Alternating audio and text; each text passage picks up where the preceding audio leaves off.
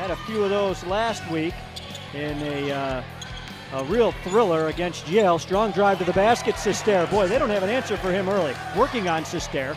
Tries to find Dixon. It goes off of Knight. Dixon shot from the left side is good. That's a three-pointer. Skip pass to Knapp. Knapp gonna shoot the floater. Nice baseline drive. Second one for, for Dartmouth. Obviously a huge advantage to get that extra possession. And they take full advantage. Finding Knapp. Knapp in the lane. Kicks it right side. Dolan, that's a three, and he's got it. Knight comes out of there with it.